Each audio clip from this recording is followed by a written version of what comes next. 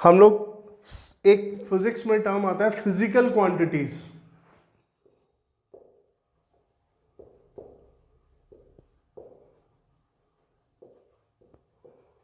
अब physical quantities क्या होती है? देखिए फिजिक्स में कोई भी फिजिक्स का लॉ होता है, ठीक है?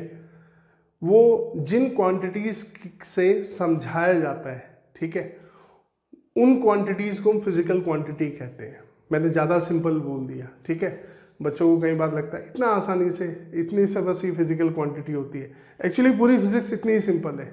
अगर आप समझने की कोशिश करोगे, रट्टा मारोगे, याद मारोगे करोगे तो दुनिया भर की किताबें हैं अलग अलग तरह की वोकेबलरी ठीक है यूज़ की गई है। सिंपल सी बात है, मैं न्यूटन का थर्ड लॉ लेता हूँ। क्या था न्यूटन का third law for every action there is equal and opposite reaction for every action एक बड़ा action there is equal and opposite reaction ठीक है? अब देखिए, जब मैंने यहाँ पर, मैं इस सेंटेंस को किसी के सामने भी बोलूँ, तुरंत बच्चे समझ जाते हैं न्यूटन्स के थर्ड लॉ की बात हो रही है। ठीक है? करेक्ट मज़ाक में भी इस लॉ को बहुत इस्तेमाल किया जाता है। For every action there is equal reaction एक ने थप्पड़ मारा और पलट के दूसरे ने जड़ दिया। राइट तो आप स्कूल में देखते ही हैं। ठीक है? बच्चे आपस में मज़ाक करते रहते हैं। तो यहाँ पर समझने वाली बात यह है कि अगर मैं एक्शन और रिएक्शन हटा दूँ, और आपने ये सुना ना होता लॉ कभी तो मैं कहता for every dash there is equal and opposite dash तभी इंग्लिश का एक फिलिंदा ब्लैंक्स का सेंटेंस होता है, बस। ठीक है, अगर आपने न्यूटन का थर्ड लॉ कभी सुना ही नहीं होता, अब तो सुन रखा है तो अब मैं बोलूँगा for every dash there is equal and opposite dash आप कहोगे, एक जगह एक्शन लिख दो, एक जगह रिएक्शन लिख दो। बोलोगे ना ऐसे ही? तो यहाँ पर आप ये देखिए कि आपको न्यूटन का थर्ड लॉ याद किस कारण से रहा? एक्शन और रिएक्शन से। तो इस लॉ को जो समझाया गया, दो वर्ड एक्शन और रिएक्शन से समझाया गया। अब ये एक्शन रिएक्शन थे क्या? फोर्स। ये क्या थे? फोर्स। तो for every dash there is equal and opposite dash कोई लॉ नहीं है कि इंग्लिश का सेंटेंस है। ये लॉ कब बनता है? जब वहाँ एक्शन रिएक्शन आता है। तो यानी कि कोई भी फिजिक्स का लॉ जो समझाया जाता है, कुछ क्वांटिटीज हम लोग यूज़ करते हैं। ठीक है? उन क्वांटिटीज को ही, उन पैरामीटर्स को ही हम लोग बोलते हैं फ़िज़िकल क्वांटिटीज ठीक है? तो physical quantities are the quantities by means of which we explains the laws of physics जिनके से हम फिजिक्स के लॉज को एक्सप्लेन करते हैं। उन्हें हम फ़िज़िकल क्वांटिटी बोलते हैं। तो फ़िज़िकल क्वांटिटी अब बच्चों से पूछा है, बोलते हैं, जिनको मेजर किया जा सके। अरे क्वांटिटी है तो मेजर तो की जाएगी। ठीक है? क्वांटिटी है तो मेजर तो की जाएगी राइट तो ये बात ध्यान रखनी है कि अगर आप चीज़ का सही मतलब ध्यान रखेंगे तो आपको आगे भी उसके बेस पर जो चीज़ें समझनी है, वो ठीक ठीक और सीधी सीधी समझ आ जाएँगी, ठीक है? तो फ़िज़िकल क्वांटिटी सिर्फ़ जो मेजर की जा सकती है, ये बोलने से नहीं होगा। फ़िज़िकल क्वांटिटीज ठीक है, के बेस पर ही हम किसी फिजिक्स के लॉ को एक्सप्लेन कर सकते हैं, ठीक है? तो वो क्वांटिटीज जिनके बेस पर फिजिक्स के लॉज को एक्सप्लेन किया जाता है, ठीक है? कोई भी लॉ उठा लो फिजिक्स का, कोई भी लॉ बिना क्वांटिटीज के वो लॉ एक्सप्लेन नहीं होता। बस उन्हीं क्वांटिटीज को हम फ़िज़िकल क्वांटिटीज कहते हैं, ठीक है? क्योंकि आप में से बहुत सारे बच्चे टेंथ से अब एलेवेंथ में आए हैं, इसलिए बहुत सारे लॉ फिजिक्स में ऐसे हैं, लेकिन आपने भी बहुत कम पढ़े हैं तो इसीलिए मैंने आपको सबसे फ़ेमस न्यूटन का थर्ड लॉ उठाया, जिसे बच्चे शरारत में भी बहुत यूज़ करते हैं, ठीक है? तो physical quantities are the quantities ठीक है? Which explains the laws of physics ठीक है? अब ये यूनिट एंड डायमेंशन में इसके आगे का पार्ट यूनिट एंड डायमेंशन में आता है। अब फ़िज़िकल क्वांटिटीज में क्या हुआ कि हमने इसको on the basis of mathematics calculation के बेस पे दो पार्ट में डिवाइड किया। एक स्केलर और दूसरा वेक्टर सवाल आता है क्यों किया ऐसे देखिए अगर मैं सिंपल सी बात करता हूँ कि फ़िज़िकल क्वांटिटी में ये क्लियर बात है कि इसमें मैग्नीट्यूड तो होगा होगा, ठीक है? राइट तो मैग्नीट्यूड क्या होता है? मैग्नीट्यूड सिंपल सी बात करें, आप दुकान वाले के पास जब चीनी लेने जाते हो, ठीक है? आप में से आई एम श्योर बहुत सारे लोग चीनी या कोई और सामान लेने गए होंगे तो अभी चीनी मान लेते हैं। तो जैसे आप चीनी लेने गए दुकान वाले के पास, आप जाके क्या बोलते हो? भैया दो किलो चीनी दे दो। तीन किलो चीनी दे दो या ढाई सौ ग्राम चीनी दे दो, ठीक है टू फिफ्टी ग्राम तो आप ऐसे बोलते हो वन के जी या टू के जी करेक्ट तो फ़िज़िकल क्वांटिटीज में, ठीक है, ज़्यादातर जो भी क्वांटिटीज है, सब में आपका क्या होता है मैग्नीट्यूड होता है। यानी कि जिसे आप मेज़रमेंट बोलते हो ना मेजर करते हैं। तो वो जो मैग्नीट्यूड है, वो आप मेजर करते हो, ठीक है? फिर वो क्या करता है, चीनी तोलता है आपके लिए राइट तो ये जो लिखी जाता है मैग्नीट्यूड वर्ड किसी भी फ़िज़िकल क्वांटिटी में जो मैग्नीट्यूड होता है, वो क्या होता है? वो दो चीज़ का बना होता है। यहाँ पर एक वन है, यहाँ टू है, और यहाँ एक मेजरिंग यूनिट लिखी है, ठीक है? जिसके बारे में डिटेल हम सब यूनिट एंड डायमेंशन में पढ़ेंगे। यहाँ सिर्फ़ एक मैं ब्रीफ आइडिया आपको दे रहा हूँ, क्योंकि ये सब जनरल बातें जो आपने अपनी लाइफ में दर्जनों बार की होंगी, ठीक है? तो मैग्नीट्यूड बना होता है एक नंबर से एक न्यूमेरिक वैल्यू और एक स्टैंडर्ड यूनिट होती है। आप टू के भी बोल सकते हो, आप टू थाउज़ेंड ग्राम भी बोल सकते हो। राइट ठीक है? नापने का जो स्केल है मेजरिंग स्केल वो छोटा भी हो सकता है, बड़ा भी हो सकता है। जैसे गोल्ड है। अब गोल्ड किलो के भाव थोड़ी नापा जाता है, तोला जाता है। ठीक है? उसको मेजर कैसे करते हैं? ग्राम्स में मेजर करते हैं हम लोग। राइट ग्राम्स में मिलीग्राम्स में मेजर करते हैं। क्योंकि गोल्ड प्रेशियस एक वो है, ठीक है? तो अब उसके प्रीशियस होने से उसकी क्वांटिटी छोटी भी अपनी काफ़ी वैल्यूबल है तो इसलिए उसे कम से कम में नापा जाता है। अब चीनी को ग्राम में थोड़ी नापोगे कि भैया दो मिलीग्राम चीनी दे दो। चीनी ज़्यादा लगती है, दो मिलीग्राम में आपकी चाय में पता भी नहीं चलेगा, ठीक है? तो आप क्या करते हो? आप उसको बड़ी यूनिट में नापना चाहते हो, ठीक है? तो ये यूनिट बड़ी भी हो सकती है, छोटी भी हो सकती है राइट कोई बड़ी यूनिट वाला सिस्टम भी हो सकता है, छोटा वाला भी हो सकता है। पर क्लियर है कि यूनिट होनी ज़रूरी है यहाँ पर। मैग्नीट्यूड में। ठीक है, जब मैग्नीट्यूड की बात करी जाती है तो फ़िज़िकल क्वांटिटीज में मैग्नीट्यूड तो होता है तो स्केलर क्वांटिटी वो होती है जिनमें मैग्नीट्यूड होता है, और सिर्फ़ मैग्नीट्यूड ही होता है। इनमें सिर्फ़ मैग्नीट्यूड होता है, बस, वो स्केलर क्वांटिटीज होती है। ठीक है, जैसे एग्जांपल टाइम टेम्परेचर ठीक है डिस्टेंस या लेंथ बोल लो स्पीड ठीक है ये सब आपकी क्या है? स्केलर क्वांटिटीज है। इनमें सिर्फ़ मैग्नीट्यूड होता है। राइट वेक्टर क्वांटिटीज में भी मैग्नीट्यूड होता है। वेक्टर क्वांटिटी में भी मैग्नीट्यूड होता है। ऐसा नहीं कि इसमें नहीं होता मैग्नीट्यूड तो वेक्टर क्वांटिटीज में भी मैग्नीट्यूड होता है। अब मैग्नीट्यूड मैंने क्या बताया? क्या होता है? न्यूमेरिक वैल्यू ठीक है? एन न्यूमेरिक वैल्यू और यू यूनिट हो गई। स्टैंडर्ड यूनिट जो भी होगी आपकी। ठीक है? जैसे हम आस नापना था तो किलोग्राम, मिलीग्राम, ऐसे आप कुछ भी ले सकते हैं। तो मैग्नीट्यूड हमेशा ऐसे लिखा जाता है। करेक्ट? तो फ़िज़िकल क्वांटिटीज में मैग्नीट्यूड तो होता ही है। ठीक है? एक एक फ़िज़िकल क्वांटिटीज ऐसी भी होती है कुछ जिनमें मैग्नीट्यूड नहीं होता है। वहाँ पे सिर्फ़ एक न्यूमेरिक वैल्यू होती है। वो उन्हें बोला जाता है रेशो इसको मैं डिस्कस करूँगा यूनिट एंड डायमेंशन में। मैं बता रहा हूँ, कभी बच्चे सोचे कि सर ने तो ये दो पार्ट में डिवाइड किया सिर्फ़। रेशो भी होते हैं, ठीक है? लेकिन जैसे आपने ऑप्टिक्स में टेंथ क्लास में पढ़ा था रिफ्रैक्टिव इंडेक्स म्यू पढ़ा था ना? इसकी कोई यूनिट नहीं लिखी थी आपने। आप इसे वैल्यू ऐसे 1.5 ऐसे लिखते थे। यूनिट नहीं होती थी कोई। इसमें सिर्फ़ न्यूमेरिक वैल्यू होती थी। इसीलिए इसे रेशो बोलते थे, ठीक है? तो इसके बारे में हम यूनिट एंड डायमेंशन में ज़्यादा डिटेल में बात करेंगे इन सब के बारे में। यहाँ on the basis of maths की बात कर रहा हूँ मैं। हमने स्केलर और वेक्टर पार्ट में डिवाइड किया। अब सवाल यह है कि क्यों किया? ठीक है? अब देखिए मैग्नीट्यूड वेक्टर क्वांटिटीज में भी होता है, जो फ़िज़िकल क्वांटिटी वेक्टर्स होती है, ठीक है? और जो फ़िज़िकल क्वांटिटी स्केलर होती है मैग्नीट्यूड उनमें भी होता है। स्केलर में क्लियर है, इनमें मैग्नीट्यूड होता है, ठीक है? अब देखो, जैसे एक बच्चा है, अब वहाँ की बात करें एक स्टूडेंट है ए ये 200 मीटर चल के आया, एक स्टूडेंट है बी ये 300 मीटर चल के आया। दोनों कितना चले टोटल तो आप सीधा 200 प्लस 300 करके कितना बता दोगे? 500 यही नॉर्मल मैथ्स है जो आप तक, आपने अब तक सीखी है। या मैंने पूछूँ कि बी ए से कितना ज़्यादा चला? या ए बी से कितना कम चला? एक बात को कहने के दो तरीके भी हो सकते हैं। तो आप 300 हंड्रेड माइनस टू करके बता दोगे? जी लो।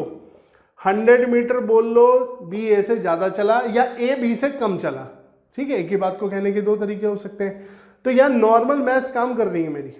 कोई प्रॉब्लम नहीं है, ठीक है? यही बात अगर मैं अब देखो, अब सवाल आता है कि जब ये सिंपल मैथ्स चल रही थी तो अब ये वेक्टर कहाँ से घुसा दिया हम लोगों ने ये? ये कहाँ से आ गया?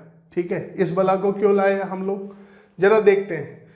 मान लीजिए, एक ब्लॉक रखा हुआ है यहाँ पर, ठीक है? ये कोई सरफेस है, इस पर ब्लॉक है। मैंने इस ब्लॉक पे फोर्स लगाया टू न्यूटन का, ठीक है? टू न्यूटन न्यूटन फोर्स की यूनिट होती है। मैंने टू न्यूटन फोर्स लगाया और ये मूव करने लगा, ठीक है? ये इस डायरेक्शन में मूव करने लगा, क्लियर? अब मैंने क्या करा, मैंने मूव करा दिया ब्लॉक को। अब ये ब्लॉक यहाँ रखा है ऐसे ही, मैंने हटा दिया फोर्स। मैंने एक स्टेटमेंट दिया, क्या स्टेटमेंट दिया? कि अगर इस ब्लॉक पे टू न्यूटन फोर्स लगेगा तो ये मूव करेगा। मैंने ये स्टेटमेंट दिया एक, कि if you apply two newton force on this block which is place on this ठीक है surface this block will start move ठीक है? ये मूव करना शुरू कर देगा। मैंने ही बोल दिया। अब एक शरारती बच्चा आया मेरा स्टेटमेंट सुन के, और ये शरारती बच्चे ने टू न्यूटन फोर्स ऐसे लगा दिया। बोला, सर, आप गलत बोल रहे हो, ये तो मूव नहीं कर रहा है। ठीक है? तो मैंने उससे कहा, बेटा, तूने गलत फोर्स लगाया है, गलत डायरेक्शन में लगाया यही तो बोलूँगा अब मैं उसे। ये मूव क्यों नहीं कर रहा है? क्योंकि मैंने किधर लगाया था? ये मान लो एक शरारती स्टूडेंट है मेरा, और ये मैं हूँ। मैंने टू न्यूटन इधर लगाया था। ठीक है? तब मूव किया था। इसने लगा के इधर लगाया। तो मेरा स्टेटमेंट काम नहीं कर रहा है। तो इसने बोला, सर, आपने डायरेक्शन कहाँ बताई थी? किस तरफ़ लगाऊँ? आपने ये कब बताया? आपने बोला, टू न्यूटन फोर्स इस ब्लॉक पे लगा दो, ये मूव कर जाएगा। तो मैंने कहा हाँ बिल्कुल बात सही है। अगली बार क्या है? मुझे उसे पूरा बताना पड़ेगा। और यही साइंस हमारी कहती है कि जब भी कोई बात बोलो तो कोशिश करिए पूरी बात बोलिए, क्योंकि साइंस में रिज़ल्ट कंडीशनल होते हैं, ठीक है? अब मैंने कहा कि बेटा, आपने ग्राउंड के पैरेलल जो ग्राउंड है, उसके पैरेलल इस डायरेक्शन में टू न्यूटन फोर्स लगाओगे तो ये ब्लॉक मूव करना शुरू कर देगा। तो मुझे बोलना पड़ा ना, जो रिज़ल्ट मैं चाहता था कि ये भी बच्चा लाए, जो रिज़ल्ट मुझे मिला, वो इस बच्चे को भी मिले। ठीक है सेम फोर्स लगाने पे ये ब्लॉक मूव करे। वो कब पॉसिबल हुआ? जब मैंने उसको पूरी इंफॉर्मेशन दी कि टू न्यूटन मैग्नीट्यूड में फोर्स यानी कि उसका मैग्नीट्यूड टू न्यूटन होना चाहिए और किस डायरेक्शन में लगाना है? इस डायरेक्शन में लगाना है। तब ये मूव करेगा। तो मैंने इशारे से बता दिया इस डायरेक्शन में लगा दे टू न्यूटन फोर्स ये ब्लॉक इधर मूव करेगा। ठीक है? अब उसका और मेरा रिज़ल्ट सेम आएगा। सो so, आपने देखा कि यहाँ पर जब तक मैं डायरेक्शन नहीं बता रहा हूँ तब तक वो रिज़ल्ट उसका और मेरा रिज़ल्ट सेम नहीं आ रहा है। तो यानी कि वो तुक्के में इस डायरेक्शन में भी फोर्स लगा सकता था, इसमें भी लगा सकता था, इधर भी लगा सकता था, कहीं भी लगा सकता, टेढ़ा लगा सकता था फोर्स ठीक है? पर रिज़ल्ट उसका एग्जैक्टली exactly जो मेरा आया था तभी आएगा जब वो बिल्कुल वैसे लगाएगा जैसे मैंने लगाया है। तो मुझे इसके लिए उसको बताना पड़ रहा है कि इस तरफ़, मुझे उसे बोलना पड़ रहा है कि इस तरफ़ लगाना है फोर्स ठीक है? कि इस डायरेक्शन में फोर्स लगना चाहिए, तब आएगा वो रिज़ल्ट मेरा और आपका सेम आएगा, ठीक है? तो there are certain type of physical quantities where direction is must necessary required ठीक है to get the desirable result तो अगर हमें जो रिज़ल्ट चाहिए कुछ फ़िज़िकल क्वांटिटीज में, हमें डायरेक्शन बतानी पड़ती है, वरना रिज़ल्ट जो आउटकम है उसका बदल जाएगा, ठीक है? तो वो आउटकम बदल सकता है सर्टेन नहीं होगा, ठीक है? मान लिया इस ब्लॉक में पाँच छह बार फोर्स लगा के, तब कहता जी, ऐसे लगाऊँगा, तब मूव करेगा। तो ये तो उसे ढूंढना पड़ता है ना? तो मुझे अगर कोई एक्सपेरिमेंट में मैं फिजिक्स में कर रहा हूँ और कोई फ़िज़िकल क्वांटिटी यूज़ हो रही है, और अगर वो ऐसी क्वांटिटी है जब डायरेक्शन भी रिक्वायर्ड है तो मुझे उसे बताना पड़ेगा कि इस, ये इतना मैग्नीट्यूड होना चाहिए इस फ़िज़िकल क्वांटिटी का और ये पर्टिकुलर डायरेक्शन होनी चाहिए। तभी उसका और मेरा रिज़ल्ट सेम आएगा, ठीक है? तो ये तो ज़रूरत हो गई कि हमें अब क्वांटिटीज को दो पार्ट में डिवाइड करना चाहिए। एक ऐसी क्वांटिटी है फ़िज़िकल जिनमें केवल मैग्नीट्यूड होता है, कोई डायरेक्शन का चक्कर ही नहीं है, ठीक है? लेकिन कुछ फ़िज़िकल क्वांटिटीज ऐसी है जहाँ मैग्नीट्यूड भी है और वहाँ पे डायरेक्शन भी होना ज़रूरी है, ठीक है? तो यहाँ पर डायरेक्शन भी चाहिए।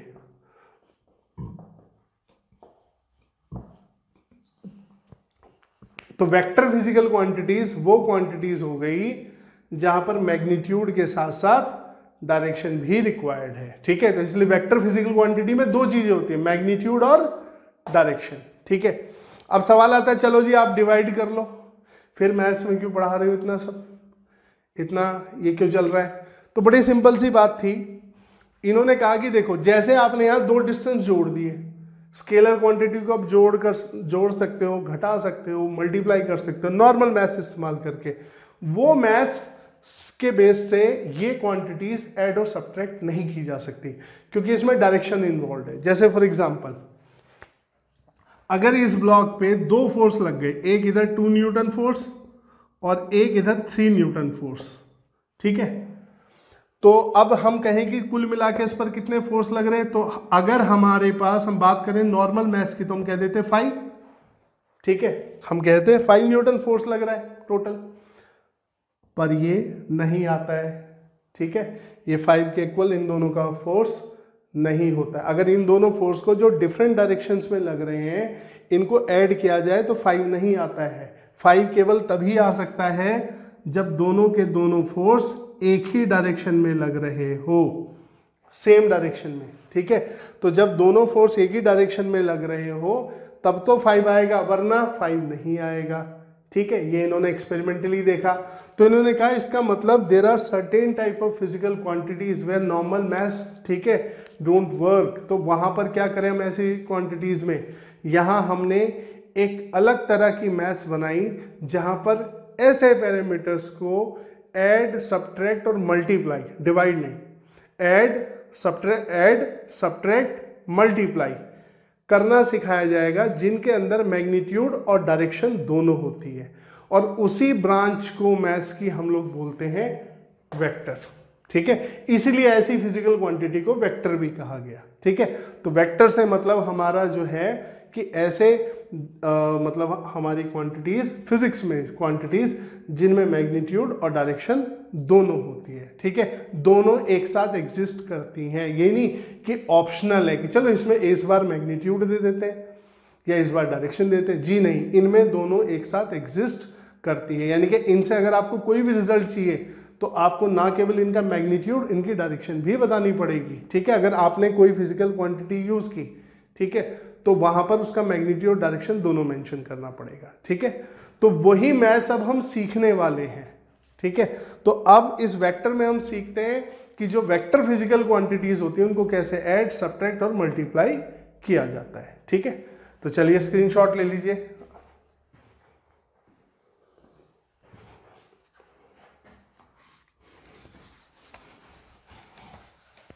तो चलिए स्टार्ट करते हैं वेक्टर ठीक है तो ये थोड़ा ब्रीफ में मैंने इंट्रो दिया, ताकि आपको ध्यान रहे। तो बिल्कुल सिंपल तरीके से बेसिक्स को दिमाग में जाने चाहिए। और देखिए, मैं बिल्कुल सीधे सीधे समझाऊँगा। जितने लॉजिकल अप्रोच आप पकड़ेंगे, उतना बेसिक आसानी से घुसेगा दिमाग में, ठीक है? और जितना आसानी से आएगा, उतना इजीली रिटेन हो पाएगा, ठीक है? तो देखिए वेक्टर्स में दो चीज़ें हो गई। क्या होता है भाई? वेक्टर्स में मैग्नीट्यूड और डायरेक्शन ये मेरे मैग्नीट्यूड और डायरेक्शन के सिंबल है। ठीक है? मैं ऐसे शॉर्ट में लिखता हूँ। मैग्नीट्यूड और डायरेक्शन तो वेक्टर में दो चीज़ होती है। अब वेक्टर को दो तरीके से दिखाया जाता है। एक होता है ज्योमेट्रिकल रिप्रेजेंटेशन और एक होता है सिंबॉलिक रिप्रेजेंटेशन यानी कि एक तो ज्योमेट्री से दिखाते हैं जहाँ पे एरो बना के दिखाया जाता है। ठीक है?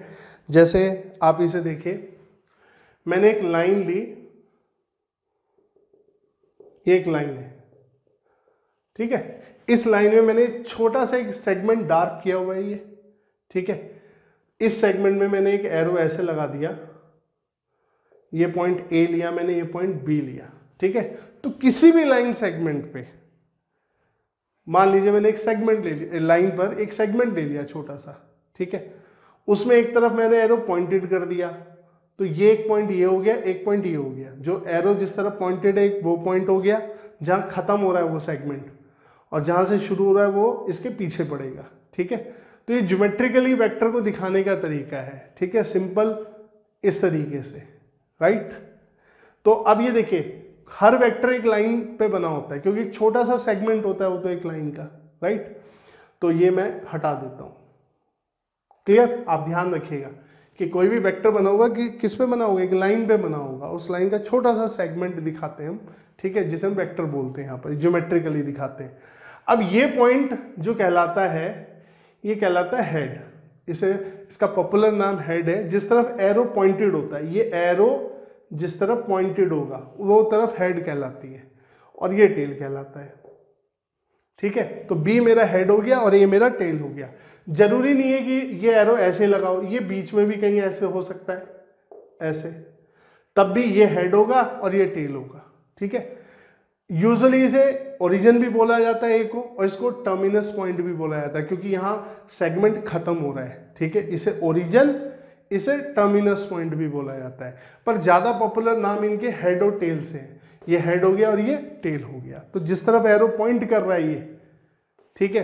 वो हेड कहलाएगा और उसके पीछे, दूसरा हिस्सा क्या कहलाएगा? सेगमेंट का टेल कहलाएगा। ये ज्योमेट्रिकल रिप्रेजेंटेशन है इसका, ठीक है?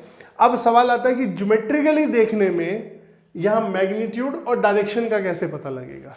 ठीक है? देखिए मैग्नीट्यूड का यहाँ मतलब होता है, सबसे पहले मैग्नीट्यूड की बात करें। तो मैग्नीट्यूड का मतलब होता है यहाँ पे length of A B in units length of A B in units A से बी की लेंथ यूनिट में, ठीक है?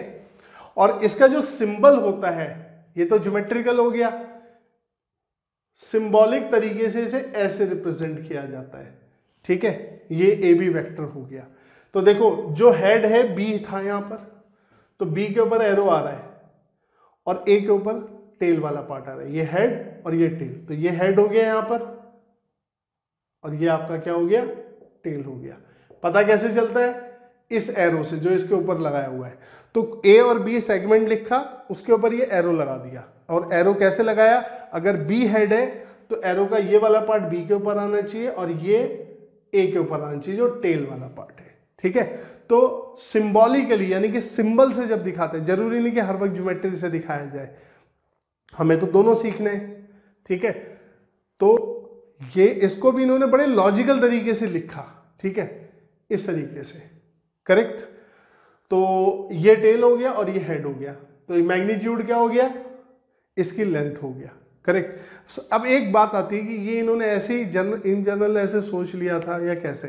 मैं इसको सिंपल तरीके से बताता हूँ आप अपने ऊपर भी इसको ठीक है अप्लाई करके देख सकते हैं। आ, ये कैसे हुआ होगा? मान लीजिए जैसे मेरे सामने कोई आपका ब्लॉक रखा है ठीक है और मैं इसको मूव कराना चाह रहा हूँ ऐसे करेक्ट तो मैं देखो एक बार मैंने ऐसे मूव कराया इसको ऐसे फोर्स लगाया ऐसे ठीक है? और एक बार मैंने ऐसे लगाया। इन दोनों में अंतर क्या दिखाई दिया आपको? पहली बात तो मैंने फोर्स ऐसे करके तो नहीं लगाया कहीं। इसको इधर मूव कराना है। मान लो एक ब्लॉक है मेरे सामने। ये, इसको मैंने मूव कराना है इधर। तो मैं ऐसे फोर्स तो लगाऊँगा या ऐसे तो नहीं लगाऊँगा। मैं कहूँगा ये इधर कैसे जाएगा? आप कहोगे इसको ऐसे पुश कर दो। सही है? ऐसे। और तेज करोगे तो ये तेज़ी से जाएगा। करेक्ट यही तो बोलोगे आप। तो इन्होंने भी ऐसे सोचा कि कोई भी फ़िज़िकल क्वांटिटी में डायरेक्शन जो आएगी, वो कर्व में नहीं होगी, वो स्ट्रेट लाइन के लंब होगी। ठीक है? तो इन्होंने कहा कि डायरेक्शन ऐसे दिखाओ, ऐसे और ऐसे मत दिखाओ डायरेक्शन क्यों? क्योंकि जब आप ऐसे करते हो तो एक ऐसे और एक ऐसे। तो ऐसे बहुत सारी डायरेक्शन पॉसिबल है, लेकिन सीधा यूनिक है, ऐसे। ये यूनिक है तरीका है करेक्ट या ऐसे। या ऐसे, ये यूनिक है बिल्कुल, ठीक है? जैसे एक ऑब्जेक्ट पे अगर आप कहीं मैंने यूँ फोर्स लगाया यूँ लगाया यूँ लगाया तो देखो कितने अलग अलग पाथ बनते हैं। करेक्ट तो कर्म में तो बहुत सारे पाथ है, लेकिन स्ट्रेट लाइन में हर कोई पाथ यूनिक हो जा रहा है।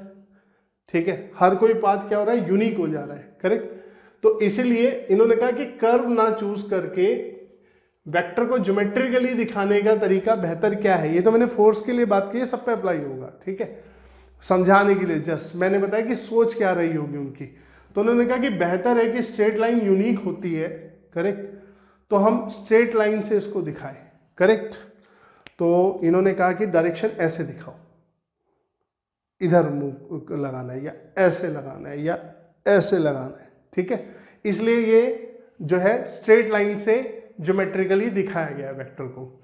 दूसरा, अब आती है बात मैग्नीट्यूड में लेंथ क्यों लिया गया? तो बड़ा सिंपल है। देखो, जब मैं करता हूँ ऐसे, और जब मैं करता हूँ ऐसे, इससे आपको क्या अंतर समझ आ रहा है? इससे आपको डिफरेंस आ रहा है, इसका मतलब हल्का, यानी कि मैग्नीट्यूड कम। इसका मतलब ज़्यादा, यानी कि मैग्नीट्यूड ज़्यादा। तो हुआ क्या इसमें और इस करने में?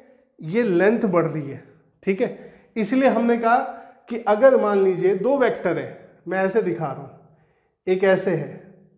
सेम फ़िज़िकल क्वांटिटी के एक ऐसे है। तो इसका मतलब इसकी लेंथ कम है तो इसका मैग्नीट्यूड कम है, इसकी लेंथ ज़्यादा है। डायरेक्शन दोनों की सेम है, देखो। डायरेक्शन इसकी भी इधर है, इसकी भी इधर है। मतलब वो लाइन अलग होने से कोई मतलब नहीं डायरेक्शन ये वाली है। ठीक है? तो ये जो है आपका कम मैग्नीट्यूड का है, छोटा है, और ये ज़्यादा मैग्नीट्यूड का है। तो इसका मतलब मैग्नीट्यूड कैसे मेजर किया जा सकता है? By measuring this length of this segment इस सेगमेंट की लेंथ मेजर करने में। ठीक है? तो इसीलिए मैग्नीट्यूड को क्या कहा गया? ए से बी तक की length length of A B in units अब यूनिट्स का मतलब क्या है यहाँ पर? ये भी समझते चले। देखिए यूनिट्स का मतलब बड़ा सिंपल है यहाँ पर बच्चों। यूनिट बहुत सारी फ़िज़िकल क्वांटिटी है। जैसे फोर्स है। अब फोर्स की यूनिट क्या होती है? न्यूटन वेलोसिटी इसकी यूनिट क्या होती है? मीटर पर सेकेंड, ठीक है?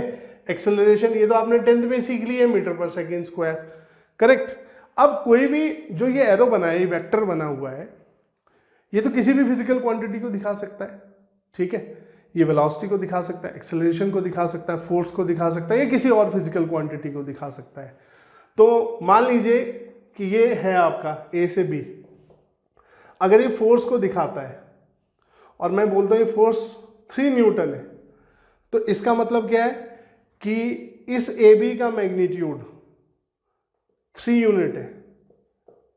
इस ए बी जो फोर्स को रिप्रेजेंट कर रहा है, इसका मैग्नीट्यूड कितना है? थ्री यूनिट तो थ्री यूनिट अगर ये फोर्स को रिप्रेजेंट कर रहा है तो वन यूनिट इक्वल हो जाएगी वन न्यूटन के। तो अब मैग्नीट्यूड को मैं क्या पढ़ सकता हूँ? थ्री न्यूटन तो यानी कि फोर्स को रिप्रेजेंट कर रहा है, ठीक है? यानी कि जितना मैग्नीट्यूड है, उतने पार्ट में इसको डिवाइड कर दो। Zero, one, two, three. मान लो थ्री पॉइंट फाइव होता है तो मैं आधा और ले लेता इसको। ठीक है, हाफ़ लेता इसको।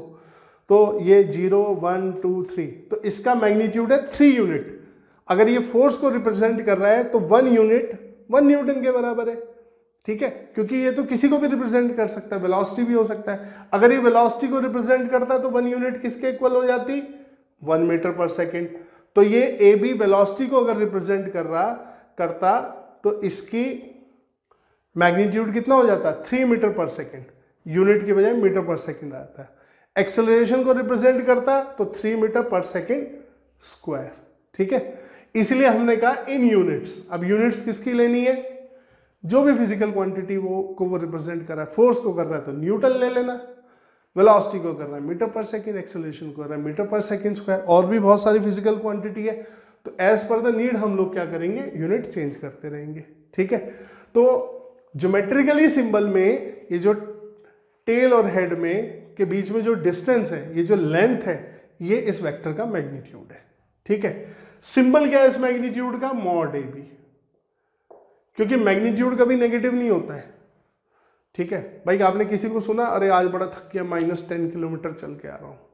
या कभी दुकान वाले के पास गए हो, भाई साहब माइनस ढाई सौ ग्राम चीनी दे दो। बोलते तुम, मैग्नीट्यूड कभी नेगेटिव नहीं होता है। और मैथ्स में पॉजिटिव का सिंबल यानी कि एब्सोल्यूट वैल्यू का सिंबल क्या होता है? मॉड मॉड में किसी को भी रख दो, वो क्या हो जाएगा? पॉजिटिव पढ़ा होगा छोटी क्लास में। जो ये मॉड का सिंबल होता है, इसमें किसी को भी डाल दो पॉजिटिव कर देगा, क्योंकि ये सिर्फ़ एब्सोल्यूट वैल्यू को बताता है। तो इसी लॉजिक से उन्होंने कहा कि भाई, हम इस ए बी वैक्टर के बाहर मॉड लगा देते हैं। तो मॉड ये किसका सिंबल है? मैग्नीट्यूड का। ठीक है? तो ज्योमेट्रिकली मैग्नीट्यूड मतलब लेंथ ऑफ़ ए बी और सिंबॉलिक मतलब क्या है? ए बी को मॉड के अंदर डाल दो वेक्टर को ए बी वैक्टर को मॉड में। तो ये जो वेक्टर लिया था, जब इसमें मॉड लगाते हो तो आप इसके मैग्नीट्यूड की बात करते हो। किसकी बात करते हो? मैग्नीट्यूड की। चलिए, अब बात आई डायरेक्शन की। डायरेक्शन क्या होगा? तो डायरेक्शन भी कोई मुश्किल नहीं है। अभी मैंने बताया ए से बी जाने के बहुत सारे तरीके हो सकते हैं। ये ये, ऐसे ऐसे, थोड़ा यूँ घूम के, है ना? पर यूनिक तरीका एक ही है स्ट्रेट लाइन ठीक है? तो डायरेक्शन के बारे में हम बता चुके कि डायरेक्शन यहाँ पे क्या है? ये क्या बता रहा है कि from A to B A से बी की तरफ़ जाना है। अलोंग अब जाने में तो बहुत सारी बात होती है। स्ट्रेट लाइन ठीक है? अलोंग स्ट्रेट लाइन तो ए टू बी आप कई तरीके से जा सकते हैं, लेकिन अलोंग स्ट्रेट लाइन एक ही तरीके से जा सकते हैं। तो इसकी डायरेक्शन क्या है? अलोंग ए टू बी मतलब A to B along straight line A से बी की तरफ़ अलोंग स्ट्रेट लाइन ये डायरेक्शन हो गई इसकी, यानी कि इस तरफ़ जाना है, ठीक है? अब वेक्टर में एक बात ध्यान रखो, वेक्टर में कोई भी वेक्टर होता है, इसको आप इस डायरेक्शन में कहीं तक चले जाओ, ये भी एक ही बात है। इसको इसके बिल्कुल पैरेलल लाइन ले आओ एक ऐसे, और ऐसे बना दो। तो ये जाना और ऐसे जाना सेम माना जाता है, ठीक है? इसको सेम बना, माना जाता है।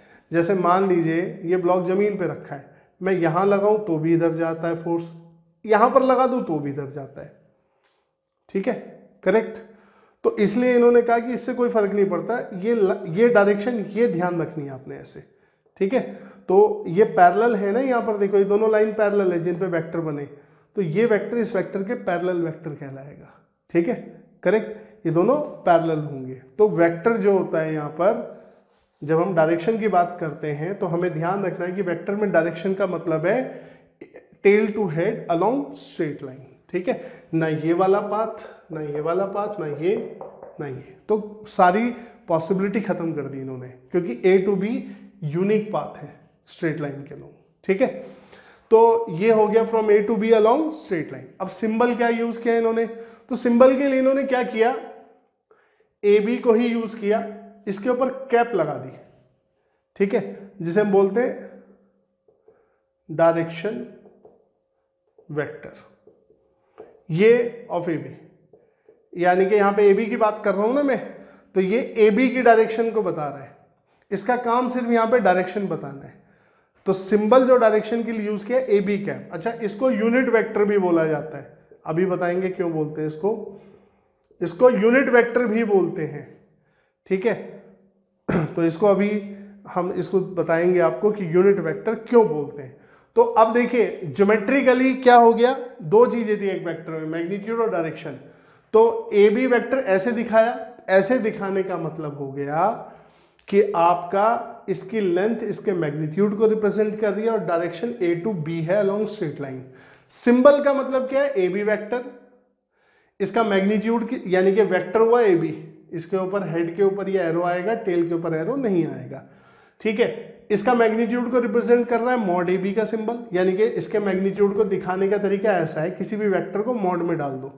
मॉड में डाल दोगे तो उसके मैग्नीट्यूड को रिप्रेजेंट करेगा, यानी कि सिंबॉलिक तरीका है मैग्नीट्यूड को दिखाने का। और डायरेक्शन दिखाने का क्या है? इसको हटाओ, कैप लगा दो यहाँ पर। ये डायरेक्शन दिखाने का तरीका है, ठीक है? तो ये मैग्नीट्यूड मॉड ए बी से रिप्रेजेंट किया मैंने और डायरेक्शन ए बी कैप से किया। और वेक्टर किससे किया मैंने? ऐसे रिप्रेजेंट किया। ठीक है? ये सिंबल हो गए। अभी हमने ए बी लिया है इसलिए मैंने यहाँ ए बी ए बी इस्तेमाल किया है। ठीक है? तो देखिए, बिल्कुल लॉजिकल तरीके से अगर आप समझने की कोशिश करेंगे थोड़ा सा ध्यान देंगे, सिर्फ़ खाली पढ़ना नहीं, कोशिश करनी है कि उन्होंने क्या सोचा होगा, क्यों ऐसा सोचा। जब आप इन चीज़ों पे काम करते हैं, जैसे मैंने बताया कि उन्होंने ऐसे ऐसे सोचा होगा कि भाई, ज़्यादा, कम, हम कहते हैं ना हल्का हल्का ऐसे बोलते हैं। तो उसने कहा कि देखो, अपने आप ही लेंथ छोटी हो गई इसकी। और बड़ी का मतलब ये इसका मतलब हो गया मैग्नीट्यूड ज़्यादा है। इसका मतलब मैग्नीट्यूड कम है। इसलिए मैग्नीट्यूड जो बताया गया, वो लेंथ से बताया गया वेक्टर की इसकी। ठीक है? अभी आपने देखा, मैंने आपको जब एक्सप्लेन कर रहा था तो मैं आपको ऐसे लगा रहा था कि देखो फोर्स इस डायरेक्शन में लग रहा है। ऐसे एरो बना दिया था मैंने। और ऊपर लिख दिया था टू न्यूटन क्योंकि आपके पास हर बार कोई स्केल नहीं आप इसे मेजर करो। पर ये टू न्यूटन क्या बता रहा है कि ज़ीरो वन टू इसको दो बराबर हिस्सों में बांट दो। और एक हिस्सा किसके बराबर है? वन न्यूटन के। तो पूरा कितना हुआ? टू न्यूटन के। ठीक है? और डायरेक्शन हो गई ये वाली। तो मैंने ऐसे एरो बनाया आपके भी दिमाग में एक बार नहीं आया, आप मेरी बात समझते चले गए होंगे।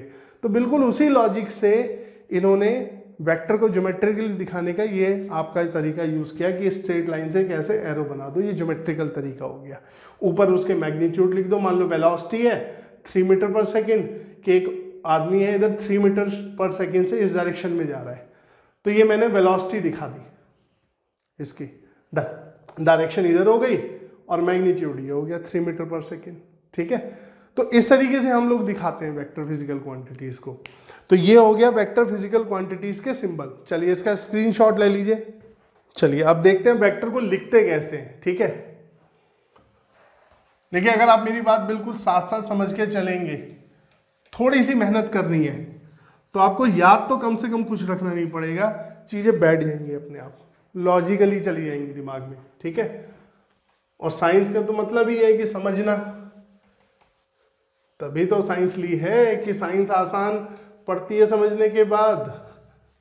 मुश्किल किसे पड़ेगी जो याद करेगा?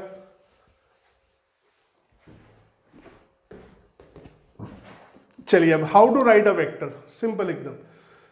Excuse me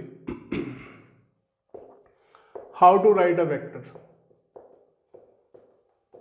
देखिए वेक्टर को लिखने का मज़े की बात है, दुनिया में एक ही तरीका है। चार पाँच तरीके नहीं है वेक्टर को लिखने का, ठीक है? मान लो मुझे ये भी वैक्टर लिखना है। तो एक वेक्टर में क्या क्या चीज़ होनी चाहिए? ये बताया हुआ ऊपर। मैग्नीट्यूड और डायरेक्शन दोनों साथ में होना चाहिए। साइमल्टेनियसली एग्जिस्ट करने चाहिए। ठीक है? यानी कि वेक्टर सिर्फ़ मैग्नीट्यूड से दिखाना अधूरा है। सिर्फ़ डायरेक्शन से दिखाना अधूरा है। वेक्टर जब लिखा जाएगा, उसमें दोनों चीज़ें मौजूद होनी चाहिए। वरना वो स्केलर नहीं हो जाएगा। करेक्ट या हमें सिंबल लगा के बताना पड़ेगा। कि मैं मैग्नीट्यूड दिखा रहा हूँ भी इस वेक्टर का, या मैं सिर्फ़ डायरेक्शन दिखा रहा हूँ वेक्टर की, ठीक है? ऐसे दिखाना पड़ेगा। लेकिन जब हम एक वेक्टर लिखते हैं तो उसके अंदर दोनों चीज़ें आनी चाहिए। और मैथ्स में बड़ा सिंपल सा रूल है। एक्सक्यूज मी जब दोनों चीज़ें साथ में एग्जिस्ट करती हैं तो उनको मल्टीप्लाई करके लिख सकते हैं। यानी कि मल्टीप्लाई का मतलब एग्जैक्टली मल्टीप्लाई नहीं, दोनों को साथ लिखा जाता है। इससे पता लगता है कि वो दोनों साथ में एग्जिस्ट करती है, ठीक है? तो जैसे मैग्नीट्यूड का सिंबल होगा मॉड ए बी और डायरेक्शन का सिंबल होगा ए बी कैप। तो दोनों को साथ लिखा जाएगा, ठीक है? तो दुनिया में केवल एक तरीका है ये वेक्टर लिखने का। पूरा वेक्टर इससे चल जाएगा आपका, कंप्लीट। और कोई तरीका ही नहीं है। किसी भी वेक्टर को लिखने का क्या तरीका है? उसके मैग्नीट्यूड और डायरेक्शन, दोनों को दिखा दो, साथ में लिख के, ठीक है? तो यहाँ पर ये आपका दिखा रहा है मैग्नीट्यूड को, ठीक है? मॉड ए बी और ये भी क्या किसको दिखा रहा है? डायरेक्शन को, ठीक है? तो ये होता है किसी भी वेक्टर को लिखने का तरीका। अब एक और बात, जैसे मान लीजिए अभी आपने ए बी वैक्टर लिखा, इस तरीके से। अब ज़रूरी नहीं कि आप हर बार इसको ऐसे ही लिख के दिखाएँ। इसको सिंगल लेटर से भी लिख सकते हो। यानी कि आप इसको, आप चाहो तो ऐसे ए वेक्टर से मार्क कर दिया कि भाई ए वेक्टर है। तो हेड और टेल हर बार दिखाना ज़रूरी नहीं होता है, ठीक है? तो क्योंकि बार बार आपको ए और बी दोनों लिखने पड़ रहे हैं। आप बोल सकते हो वेक्टर ए है तो इसको साफ़ कर दो, ये वेक्टर ए हो गया, ठीक है? इससे पता लग रहा है ये हेड है और ये टेल है क्लियर तो ज़रूरी नहीं कि इन्हें नाम देना है, इन्हें सिंगल लेटर से भी दिखा सकते हो। अब वेक्टर ए कैसे लिखा जाएगा? सिंपल इसका मैग्नीट्यूड का सिंबल ए को मॉड में डाल दो। डायरेक्शन ए कैप ठीक है? इस तरीके से। राइट? तो यहाँ तो हमने ए बी लिया था, इसलिए मैंने ए बी पूरा लिख के दिखाया। पर कभी कभी ए बी को सिंगल ए लेटर ए से बी से सी से, किसी से भी दिखा सकते हो। ठीक है? तो ये तरीका हो गया आपका वेक्टर ए को लिखने का mod A into A cap ठीक है? तो है आसान। तो ये बिल्कुल इजी वे है वेक्टर को लिखने का। ठीक है? अब देखिए, मैंने अभी कहा था कि इसको यूनिट वेक्टर भी बोलते हैं ए बी कैप को। क्यों बोलते हैं? ठीक है? देखते हैं जरा। उससे पहले एक चीज़ समझिए। देखिए, मॉड में अगर माइनस टू रखा तो क्या आएगा? टू। क्योंकि मॉड एब्सोल्यूट वैल्यू को दिखाता है, हमेशा पॉजिटिव वैल्यू देगा। अगर मॉड में प्लस टू को रखा तो भी टू आएगा। पर क्या प्लस टू को मॉड में रखने की ज़रूरत है? कोई ज़रूरत नहीं है। भाई माइनस से तो ठीक है, टू लाना है। इसको लिखने की ज़रूरत तो है नहीं, ठीक है? क्योंकि ऑलरेडी क्या है? ये टू, पॉजिटिव था राइट तो पॉजिटिव पे मॉड लगाने की क्या? कोई ऐसा वो नहीं है, ज़रूरत नहीं है, ठीक है? क्योंकि पॉजिटिव पॉजिटिव को क्या करेगा? तो पॉजिटिव ही रहेगा। क्लियर मैंने ये यहाँ पे उठाया। A B A B cap और मैंने इसको पूरे का मोड ले लिया दोनों तरफ़। दोनों तरफ़ मोड ले लिया। ठीक है? क्यों ले रहा हूँ मैं मोड सवाल यहाँ पे आता है। देखिए ए बी कैप डायरेक्शन का सिंबल तो है ही। ये डायरेक्शन तो दिखाता ही है। ठीक है along A to B straight मतलब along straight line from A to B ठीक है? ये दिखाता ही है ये आपका। इस सिंबल का कोई अपना मैग्नीट्यूड भी हो सकता है। डायरेक्शन तो है ही इसमें सिंबल में, ये है ही डायरेक्शन का सिंबल तो इस सिंबल का अपना कोई मैग्नीट्यूड हो सकता है। ठीक है? कुछ तो हो गई। तो इसका मैग्नीट्यूड है और डायरेक्शन ये खुद है ही। तो इसका मतलब ये क्या हुआ? ये भी वेक्टर हुआ।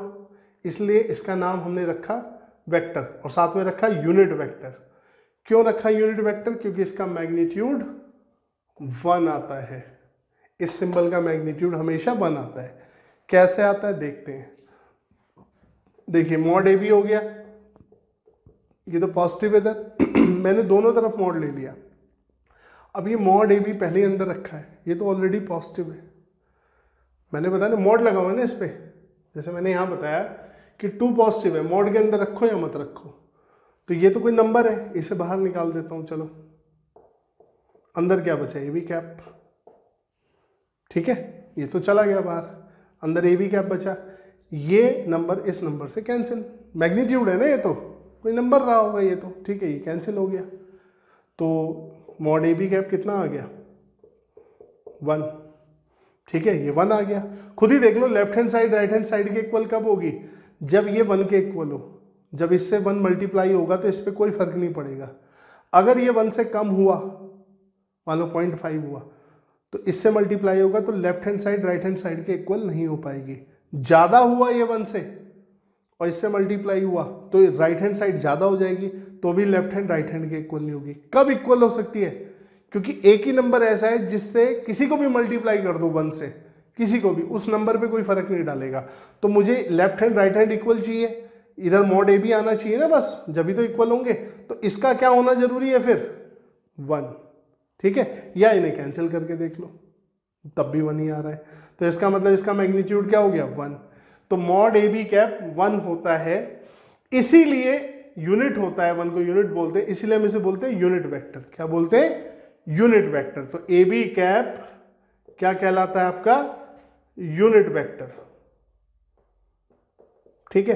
क्योंकि इसका मैग्नीट्यूड हमेशा क्या होता है? वन। और डायरेक्शन का सिंबल तो है ही डायरेक्शन क्या है? From A to B along straight line A से बी की तरफ़ अलोंग स्ट्रेट लाइन ठीक है? तो ये आपको ध्यान रखना है। बस, इससे पूरा वेक्टर आपका समझ आ जाएगा आपको। बिल्कुल लॉजिकल तरीके से। बिल्कुल भी दिक्कत नहीं होगी। ठीक है? सीधे बच्चे आई जे के स्टार्ट कर देते हैं, रटना शुरू। इस, इतना रटते हैं ना बच्चे वेक्टर्स में।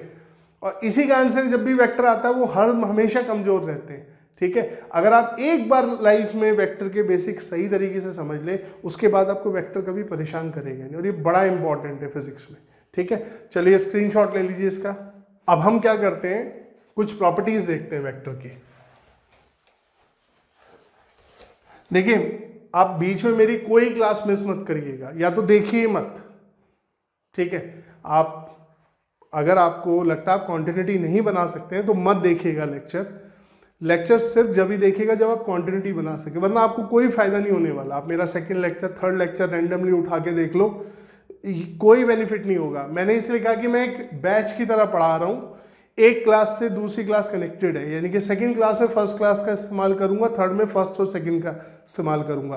तो कॉन्टिन्यूटी बना के रखिएगा मेरे लेक्चर्स में, वरना कोई बेनिफिट नहीं होगा, इससे अच्छा आप ना देखें, ठीक है?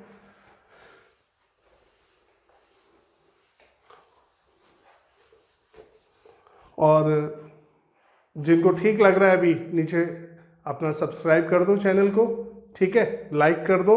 और शेयर कर दो। ठीक है? मेरी हमेशा टेक्निकल टीम कहती है, सर, आप भूल जाते हो।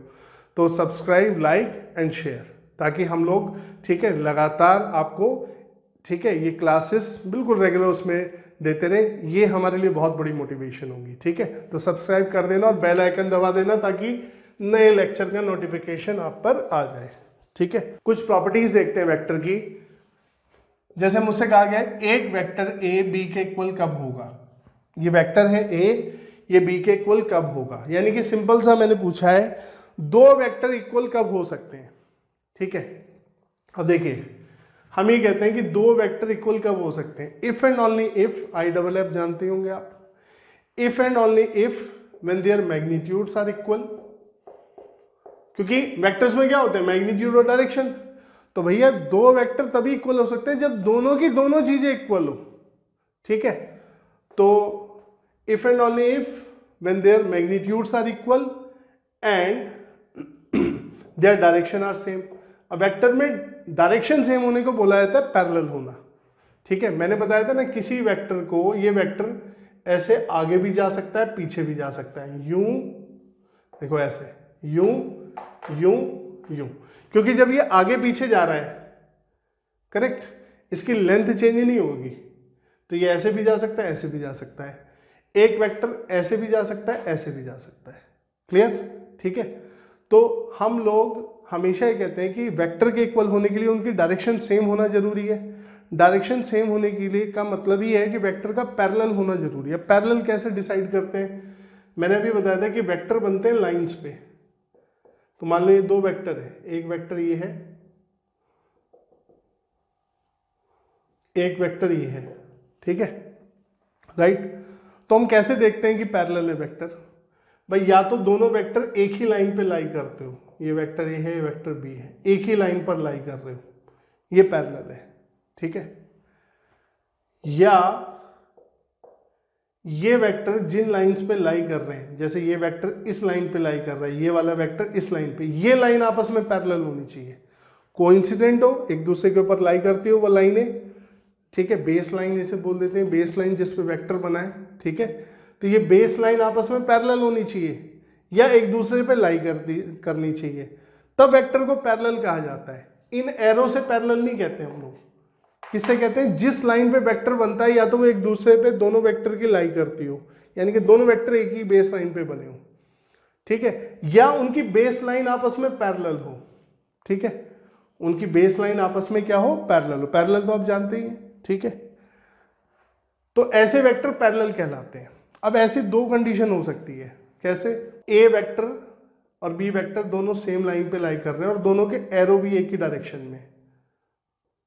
ठीक है? ये। इसको बड़ा बना देता हूँ उसको इधर।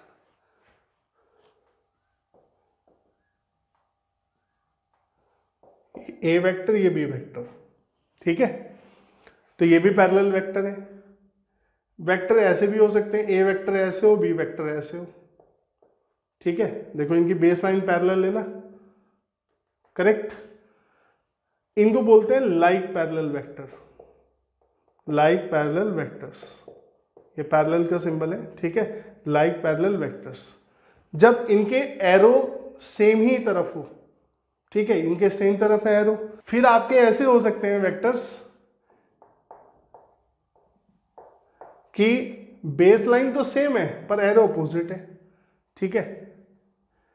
यहाँ पे ए का एरो इधर है बी का एरो इधर है। अब देखो बेस लाइन तो इनकी पैरेलल है, जिस बेस लाइन पे बने तो पैरेलल वेक्टर तो ये हो गए।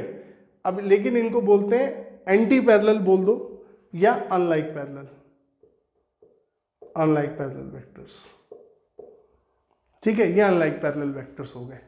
तो अनलाइक पैरेलल में एरो अपोजिट होंगे। पर पैरेलल होने की कंडीशन क्या है? बेस लाइन या तो एक दूसरे पे लाई करती हो, जिस पर वेक्टर बनते हैं, या एक दूसरे के पैरेलल हो।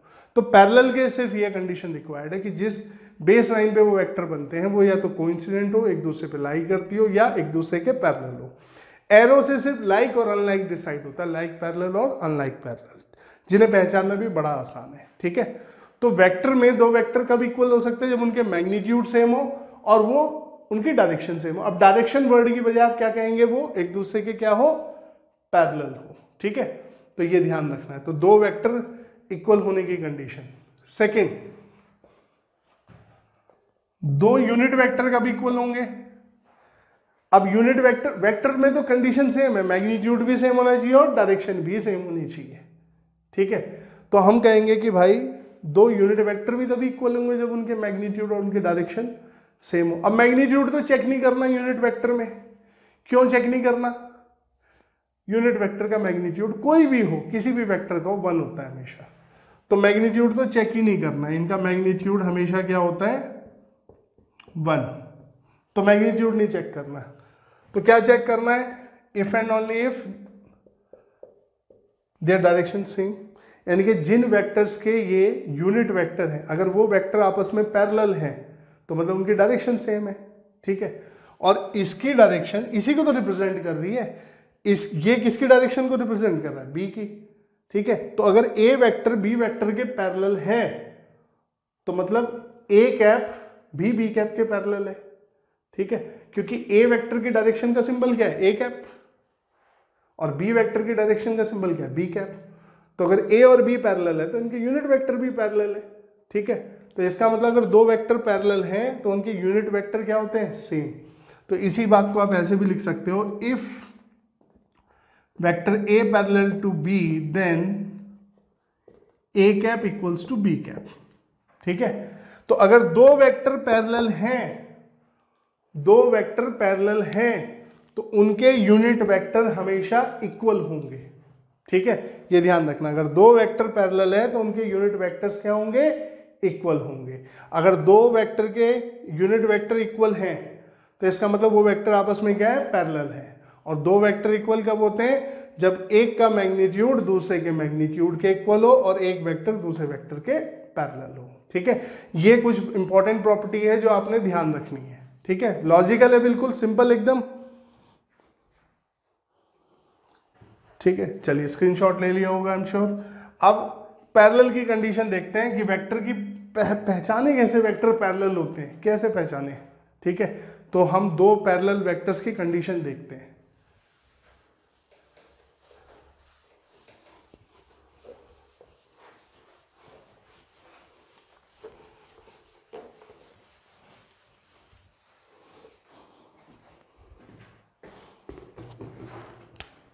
तो condition of two parallel vectors. तो मान लीजिए कि मुझे दो वेक्टर दिए हुए हैं। एक वेक्टर ए बी दिया हुआ है, ऐसे, और एक इसके वेक्टर पैरेलल दिया है सी डी। तो A B parallel to C D मुझे गिवन है। ये गिवन है। अब मुझे कंडीशन निकालनी है इनके वेक्टर्स की फॉर्म में, जिससे मैं बता सकूँ कंडीशन को देख के कि अगर कोई वेक्टर ऐसे लिखे हो तो पैरेलल होते हैं आपस में। मुझे वो कंडीशन निकालनी है। यहाँ मैंने ऑलरेडी आपको दो पैरेलल वेक्टर दिए हैं। अब मैं एक सिंपल सी बात आपसे बोलता हूँ। ए बी वैक्टर कैसे लिखा जाएगा भाई? तो कहेंगे जी एक ही तरीका है ए बी का मैग्नीट्यूड और ए बी की डायरेक्शन सही है? Mod A B into A B cap C D vector कैसे लिखा जाना चाहिए? सोचने की बात है कोई? सी डी का मैग्नीट्यूड सी डी कैप ठीक है? उसका मैग्नीट्यूड उसकी डायरेक्शन यही तरीका है। अब मैं चाहता हूँ कि इस वेक्टर इस वेक्टर में कोई रिलेशन निकालूं। ठीक है? जिसमें मैं इस कंडीशन का यूज़ करूँ ए बी और सी डी मुझे ऑलरेडी पैरेलल दिए हुए हैं। अब पैरेलल दिए होने से क्या फ़र्क वो हुआ? अगर ये पैरेलल हैं as A B parallel to C D then A B cap must be equal to C D cap अभी हमने पीछे पढ़ा प्रॉपर्टी में कि अगर दो वेक्टर पैरेलल हैं तो उनके यूनिट वेक्टर्स क्या होंगे? इक्वल ठीक है? तो अब आप देखो, इस सी डी की जगह या इस ए बी की जगह, इस सी डी की जगह मैं ए बी रख सकता हूँ। या इस ए बी कैप की बजाय मैं सी डी रख सकता हूँ। ठीक है? क्लियर ये मुझे एक कंडीशन मिल गई इससे कि मैं यूनिट वेक्टर को इनके चेंज कर सकता हूँ, अपनी ज़रूरत के हिसाब से। अब बचे मैग्नीट्यूड अब मैग्नीट्यूड के बारे में मैं एक बात कहूँगा। आप देख सकते हो ए बी छोटा है और सी डी बड़ा है। ज़रूरी नहीं है मैं चाहता तो ए बी को बड़ा बना देता सी डी को छोटा बना सकता, उससे कोई फ़र्क नहीं पड़ने वाला। क्योंकि यहाँ हमारा फोकस सिर्फ़ पैरेलल होने पे है। ठीक है? लेकिन मैं एक बात तो कह सकता हूँ कि ए बी जो है सी डी से छोटा है। हो सकता है सी डी ए बी जो है सी डी की लेंथ यानी कि उसका मैग्नीट्यूड लेंथ जब मैं बोलूँगा तो मतलब मैग्नीट्यूड की बात है। वेक्टर में लेंथ का मतलब मैग्नीट्यूड से होता है। तो इसकी लेंथ हो सकता है इसकी डबल हो। सी डी की लेंथ ए बी के डबल लेंथ के बराबर हो। या सी डी की लेंथ ए बी के 1.2 टाइम्स हो। हम ऐसे लिख सकते हैं C D one times of A B यानी कि सी डी की लेंथ ए बी के 1.2 टाइम्स हो। ठीक है? या 1.5 टाइम्स हो। या थ्री टाइम्स हो। ऐसे कुछ भी लिख सकता हूँ नंबर यहाँ पर। ठीक है? अच्छा ये सी डी की लेंथ का मतलब इसे यूँ भी लिख सकते हो आप। सी डी की लेंथ ए बी की लेंथ वेक्टर में यही तो सिंबल होते हैं। मॉड सी डी में जैसे आपने लिखा ना मॉड सी डी वैक्टर इसे आप खाली ए भी लिख सकते हो। हटा दो वेक्टर का साइन, खाली सी डी रहने दो। सी डी का मतलब हमारी मैथ्स में क्या होता है?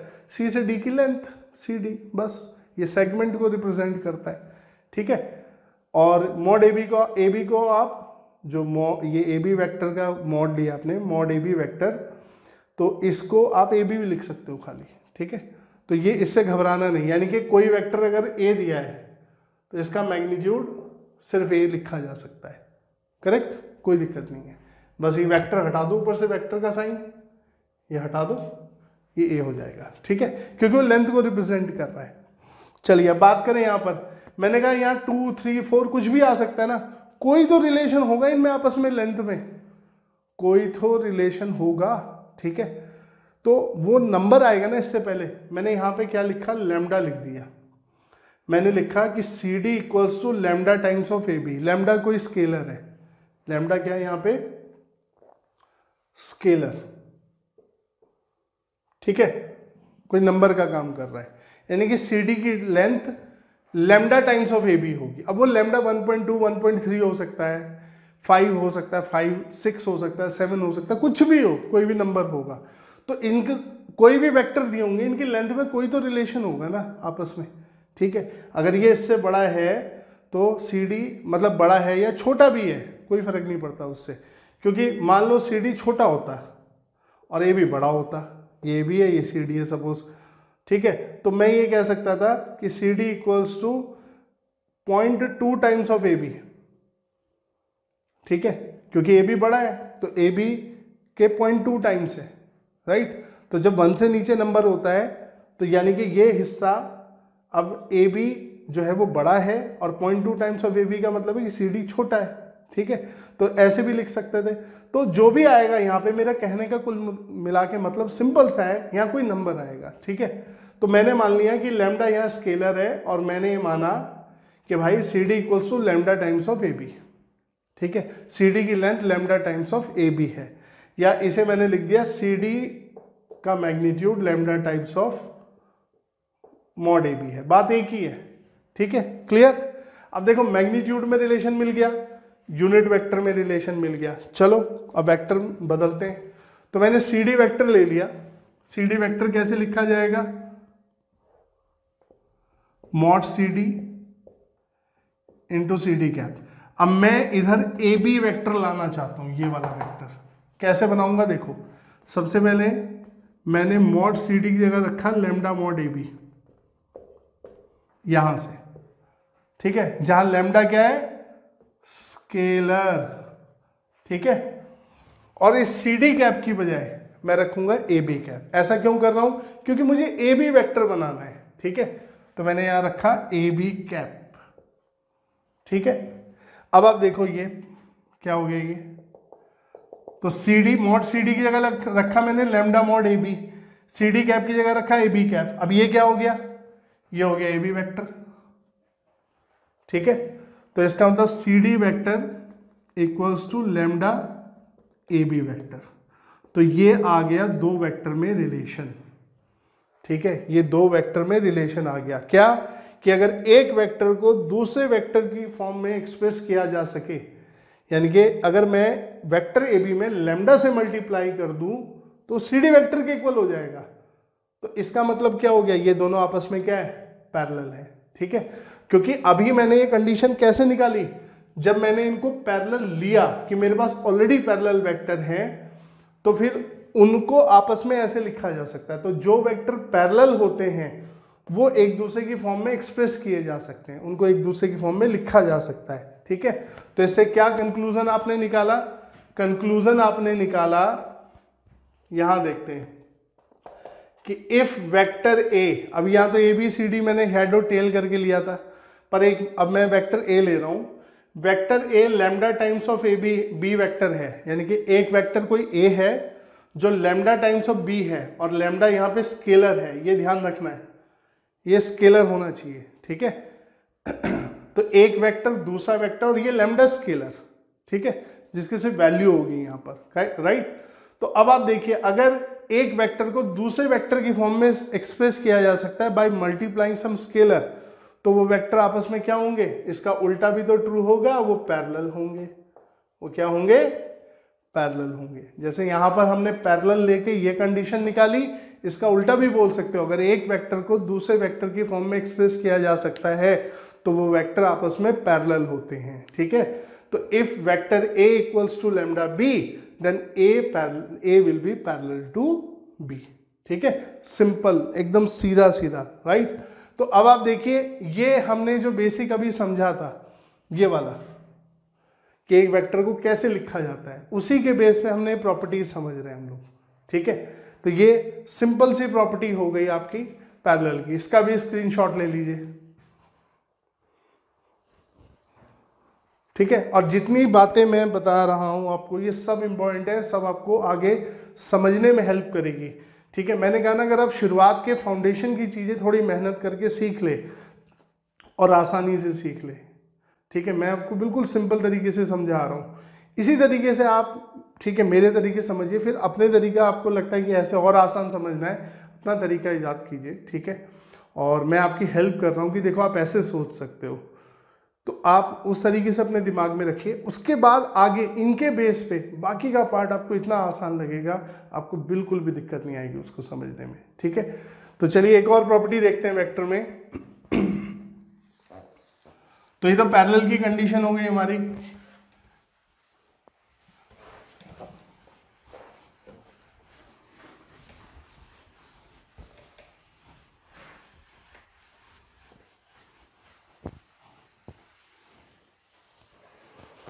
तो अगली जो प्रॉपर्टी है, वो है नेगेटिव साइन को लेके। वेक्टर में नेगेटिव साइन का मतलब क्या होता है? देखिए वेक्टर में नेगेटिव साइन का मतलब सिंपल सा एक वो रहता है कि जैसे मान लीजिए, ये वेक्टर ए दिया है और मुझे माइनस ए वेक्टर बनाना है, ठीक है? तो अब आप देखिए वेक्टर में नेगेटिव साइन का मतलब क्या होता है? Negative sign means in vector vector negative sign means reverse the direction reverse the direction keeping the magnitude same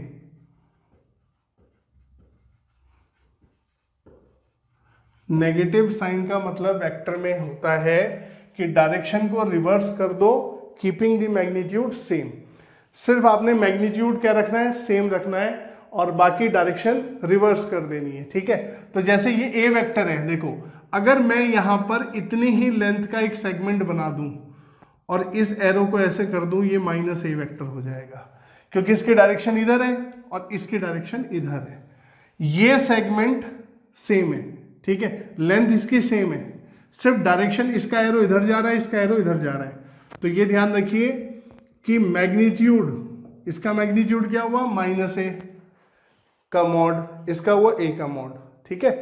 तो दोनों के मैग्नीट्यूड सेम है। तो वेक्टर में जो मैग्नीट्यूड का मतलब होता है मैग्नीट्यूड इक्वल होने का जो मतलब है, ठीक है? वो ये आप मतलब नेगेटिव साइन का जो मतलब है, वो ये है कि डायरेक्शन को रिवर्स कर दो, लेकिन इसका जो मैग्नीट्यूड है, उसको चेंज नहीं करना है, ठीक है? तो इसमें हमने यहाँ पे इसको ऐसे पलट दिया करेक्ट पलटने से मैग्नीट्यूड तो चेंज हुआ ही नहीं राइट जितना ये था उतना ये समझो इसको ऐसे ले गया मैं, ये वेक्टर को ऐसे ले गया। तो लेंथ तो चेंज नहीं हुई, लेकिन डायरेक्शन चेंज हो गई। तो नेगेटिव साइन का मतलब बस ये होता है। या आप ऐसे भी कर सकते हो, देखो, जैसे ये ए है, आप इसी सेम लेंथ है, इसका एरो ऐसे कर दो, ये माइनस ए हो गया। ठीक है? सब इसको फॉलो करेंगे। मैग्नीट्यूड कभी चेंज नहीं होता है। तो वेक्टर में नेगेटिव साइन का मतलब है just reverse the direction keeping the magnitude same ठीक है? मैग्नीट्यूड को सेम रखना है। तो ऐसे भी बना सकते हो। अच्छा देखो या, यहाँ पर ये आपने ऐसे वेक्टर है एक नीचे इसके पैरेलल वेक्टर बना दिया ये। और इसका एरो ऐसे है। तो ये ए वेक्टर है तो ये माइनस ए वेक्टर होगा। क्यों होगा? लेंथ सेम होने से दोनों के मैग्नीट्यूड सेम हो गए। और जिस लाइन सेगमेंट पे ये वेक्टर बना है, उसी लाइन सेगमेंट पे मतलब उसके पैरेलल लाइन सेगमेंट पे दूसरा वेक्टर बना है तो यानी कि दोनों वेक्टर तो पैरेलल हो गए। ये दोनों वेक्टर पैरेलल हो गए। ठीक है? पैरेलल हो गए, मैग्नीट्यूड सेम है तो वेक्टर इक्वल है। अब पैरेलल होने में दो तरह के पैरेलल थे लाइक पैरेलल अनलाइक पैरेलल। तो लाइक पैरेलल का मतलब होता है सेम तरफ़ एरो जाना। अनलाइक का मतलब अपोजिट तो ये माइनस ए का अपोजिट जाएगा। तो ये पैरेलल है, पर अनलाइक पैरेलल है। तो इस तरीके से भी कर सकते हो, ठीक है? तो वेक्टर में केवल नेगेटिव साइन का मतलब है डायरेक्शन को रिवर्स कर दो, ठीक है? और मैग्नीट्यूड के साथ कोई छेड़छाड़ नहीं, वो कांस्टेंट रहेगा, ठीक है? चाहे सिंपल वेक्टर का, जैसे ये ए वेक्टर है, मैं एरो को इधर बना दूँ तो ये माइनस ए वेक्टर होगा। यूँ भी कर सकते हो। तो इसको ऐसे घुमा दो या यहीं रहने पे इसको ऐसे के ऐसे यू पलट लो। ठीक है? क्योंकि दोनों में सेगमेंट नहीं आपका लेंथ चेंज नहीं हो रही है। ये माइनस ए हो गया। या ए वेक्टर ऐसे, इसके अपोजिट एक वेक्टर बनाओ, ऐसे पैरेलल है इसके, और डायरेक्शन पलट दो। तो ये माइनस ए वेक्टर हो गया। ठीक है? तो वेक्टर में सिंपल सा ध्यान रखना नेगेटिव साइन का मतलब है कि reverse the direction keeping the magnitude same तो माइनस ए का मैग्नीट्यूड ए के इक्वल होता है, ठीक है? तो अगर एक वेक्टर ए दिया है तो इसका नेगेटिव वेक्टर का मैग्नीट्यूड सेम होता है। तो वेक्टर में सिर्फ़ नेगेटिव साइन इसके अलावा पूरे वेक्टर में नेगेटिव साइन का कोई मतलब नहीं है। सिर्फ़ डायरेक्शन को रिवर्स करना मैग्नीट्यूड को सेम रखते हुए, ठीक है? इसको आप ध्यान रखेंगे, क्योंकि ये चीज़ें आपकी, जितनी मैंने आपको आज बातें सिखाई हैं, ये सब बेसिक है वेक्टर का।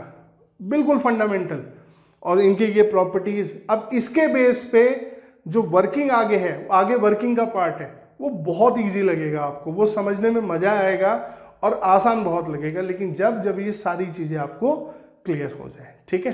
तो चलिए, ठीक है स्क्रीनशॉट ले लीजिए। अब मिलेंगे नेक्स्ट लेक्चर में। मैंने कहा कॉन्टिन्यूटी बना के रखनी है, ठीक है? तो नेक्स्ट लेक्चर इसका आएगा, जिसमें हम लोग, ठीक है, और आगे की चीज़ें सीखेंगे। Thank you